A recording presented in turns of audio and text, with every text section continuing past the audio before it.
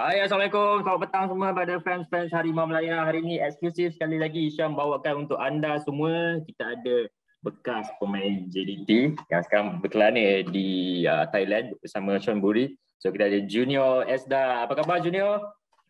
Baik, baik. Okey, penat sikit. Penat Hari sikit. dua training. Hari Tapi okey training. okey. Se- So, Sehat, tak ada training lagi? Ada, ada, ada, ada. Okay, Junior, uh, thank you for your time. Really appreciate it uh, for our fans Harimau Melaya. So Junior, I want to start to the point. Uh, soalan pertama lah. Uh, kita campur-campur lah sebab you pun boleh cakap bahasa Melayu. Boleh, Uh, boleh, boleh. Media dekat Thailand dah rumours dah banyak mengatakan you bakal kembali ke JDT sama ada for the second transfer window or ataupun next season. Boleh tak you confirmkan benda ni?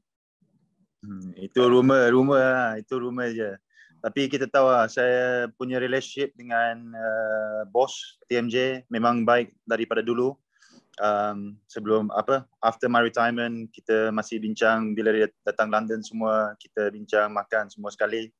So um, tak ada ini rumor je. Tak ada tak ada confirmation. Kita tahu kan bola sepak ni ma- macam ni. Sebab kontrak saya dah habis uh, bulan ni bulan 5 habis. So saya free player so mungkin ada satu berita kat Malaysia nak saya balik ke apa tak tahu lah. Tapi tidak rumor je rumor Okay, so kontrak you akan habis bulan lima. So your your plans after this maybe dah ada offer lain-lain ke? itu sekarang saya tunggu lah. Saya tunggu agent buat confirmation. Tapi sini dalam Malaysia lain sikit.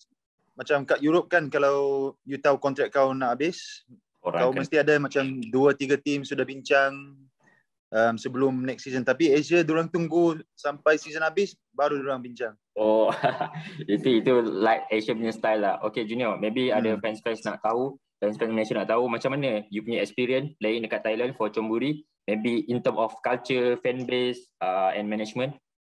Hmm, culture memang for me memang baik lah. Very respective. Um, Liga aku rasa line biasa line sebab padang semua cantik. Stadium bukan ada dua tiga stadium je yang cantik, banyak stadium cantik. Um, dengan kata kita tahu VAR. Lepas tu dalam Southeast Asia Thailand Tha- Thailand punya liga kita tahu lah standard standard line. Tapi biasa local player semua biasa dengan Malaysia rasa sama lah. Tapi mungkin budgeting untuk team untuk foreigner dekat League Thai memang besar sebab liga sini ada enam tim boleh enam tujuh tim boleh menang liga. Dekat. Malaysia berapa tahun Johor Johor menang tujuh tahun tujuh tahun Tujuh, lapan, sembilan tahun. menang. Hmm, so aku rasa the the difference sini memang more competitive lah. More, the league much more competitive. Sekarang pun relegation zone tiga eh empat lima tim boleh boleh pergi relegation. Oh, okay. Kita tahu Buriram tahun ni boleh menang tapi untuk uh, Champions League spot ada lima tim boleh boleh masuk ACL untuk tahun depan. So the competition line lah. Oh, for for next season lima tim boleh masuk ACL. Tak tak tiga tim tiga tim. Tapi tim kalau? Ah, Buriram tiga menang kalau Buriram menang FA Cup empat tim empat layak. Oh, Dua uh, qualification lepas tu dua direct. Okay, sebab apa yang I baca, I buat research kat sana, macam Bu- Chomburi ni is like macam AIS Amsterdam lah, dia banyak uh, punya pemain muda yang young talent lah, development and solid foundation. Macam kita tahu, Buriram, uh, PG Patong ni macam JDT lah, kaya lah sikit lah, boleh beli Betul. apa yang apa yang dia Betul nak. betul. So, kalau untuk personal junior sendiri, apa, what kind of football philosophy yang, yang junior prefer?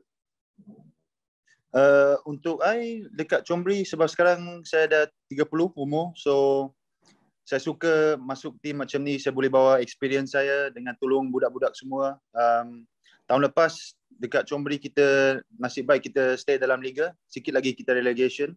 So tahun ni kita bawa import lagi baik dengan import uh, tahun lepas saya dengan Renato Kelic stay.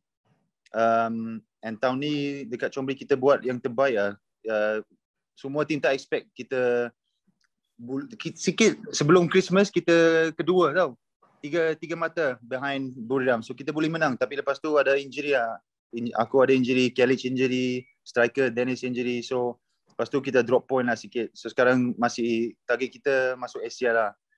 Tapi Yeah. filosofi macam ni aku rasa baik untuk untuk Thailand sebab you boleh tengok banyak player yang muda 17 tahun, 16 tahun boleh main first 11. bagi orang experience untuk national team juga macam tu baik. Okay, uh, macam Cemburi maybe untuk compete dengan tim-tim besar ni daripada segi financial lah kot saya rasa untuk kadang-kadang kena jual player untuk survive. So betul. The, the, macam the best untuk fight untuk top 3 ni untuk ACL Champions League ni adakah uh, financial power bad for Thailand you think ataupun the macam untuk world generation in general? Aku rasa financial power also big big factor sebab import orang lain macam lepas tu orang beli you know semua national team Thai dekat top 3 top 4 team lah macam tu. Macam kita ada satu je player national Thai Chris Sada. Um, yang yang yang yang main dekat Thai national team. Tapi yang lain kau tengok lah macam kau cakap BU BG Buram semua national national player. Lepas tu import yang memang terbaik lah macam Junior cakap tadi uh, Chris Sada. Chris Sada ni I rasa you rasa tak dia, dia ni the, the, the next big thing in Thailand sebab adakah you nampak dia punya potential maybe boleh main J-League macam Canatik ke ataupun transfer kat Europe one day? Tak boleh boleh. Chris Sada ni dia punya kepala bukan macam dia, dia, dia tak main macam budak tau. Dia, dia main macam dah 30 lebih. Dia punya reading dalam game baik dia ada power dia ada speed. Uh, yang satu kurang aku rasa dia, dia lagi baik pada main defensive midfield pada centre back. Sebab centre back dalam liga ni kau kena fight dengan import yang besar aerial punya. So yang tu dia susah sikit kalau main defense. Tapi dekat Thai boleh lah sebab kau lawan apa Southeast Asian punya punya striker bukan besar kan? So dia boleh. Tapi for me dia punya best position center defensive midfield. Tapi dalam training semua memang baik. Aku tahu dia boleh pergi jauh. Hmm. Macam macam macam untuk junior sendiri apa Fona yang lebih rasa selesa untuk bermain center back, defensive midfield untuk junior.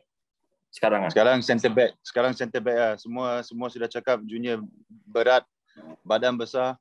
So aku sekarang tak boleh tak tak boleh lari macam macam dulu. So for me center back ah, center back. Center, center back. back. Okay, hmm. macam untuk kita kita uh, cakap pasal transfer. Maybe kalau untuk player-player macam Asia Tenggara tak kisah Malaysia ke Thailand ke Indonesia, adakah first step orang kalau orang nak keluar orang kena pergi sekitar Japan, Korea, Australia dulu sebelum hmm. orang pergi ke Europe sebenarnya. Betul betul aku rasa sebab level Japan dengan Australia lain Korea juga sebab tempo laju lepas tu physical kena kena buat lagi so for me it's, it's the best opportunity to, to go in Asia first dua tiga tahun lepas tu you buat you punya nama kat sana, Japan, Australia, lepas tu lagi selesa pergi Europe. Okay. Kalau pergi Europe direct susah sebab culture semua apa weather sejuk. Lepas tu kau main dengan center back yang atau player macam betul-betul ganas. Betul-betul ganas. Katanya pun Asia punya team masuk World Cup susah. Korea, Japan susah. Ya, orang besar ganas. Okay, contoh macam kena ambil step dulu lah sebelum kita pergi ke Europe kita ambil contoh Lokman Hakim eh. Macam ini untuk view komen lah pada pandangan junior sendiri. Macam Lokman Hakim terus pergi ke Europe. Maybe untuk first eleven, adakah dia perlu pergi tim yang dapat manage permainan dulu untuk first eleven ataupun dia stay dekat Europe training je under 23 tu? Untuk ah, untuk betul-betul kalau aku honest, uh, dia kena ada minit untuk pelawan game. Itu yang penting. Um, walaupun kau pergi sana, tapi kau training je. Lepas tu kau kena masuk game walaupun dekat Malaysia dekat apa.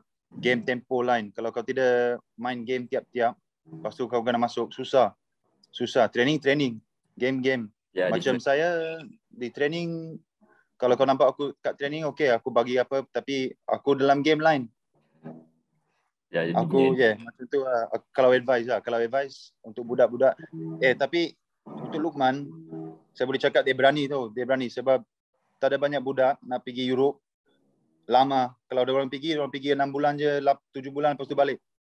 Tapi dia macam ada motivasi sendiri untuk prove untuk orang tak aku nak training training sini. Lepas tu mungkin dia boleh dapat first level tapi untuk aku lah minit pelawan is is important